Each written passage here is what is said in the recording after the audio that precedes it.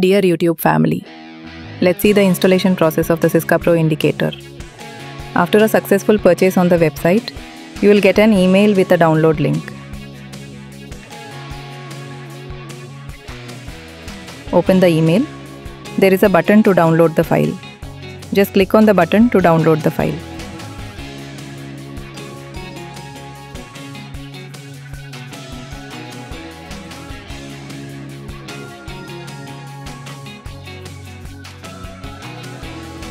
After the successful download, open the downloaded folder. Right click on the file and extract it. After extraction, you will get four files.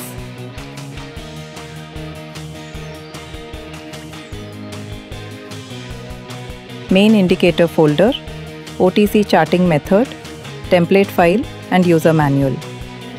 Now open the MT4 application. Go to Files, click on Open Data folder. Open the MQL4 folder, then open the Indicators folder. Now you need to paste the main indicator folder here.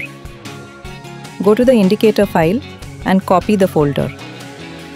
Now again open the indicators folder and paste the indicator folder here. After that, copy the template file and paste it into the templates folder.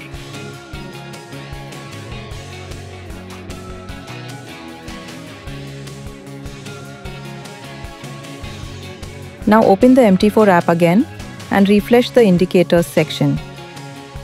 Right click, then go to templates and apply SyskaPro. Now it's done. Enjoy your trading journey.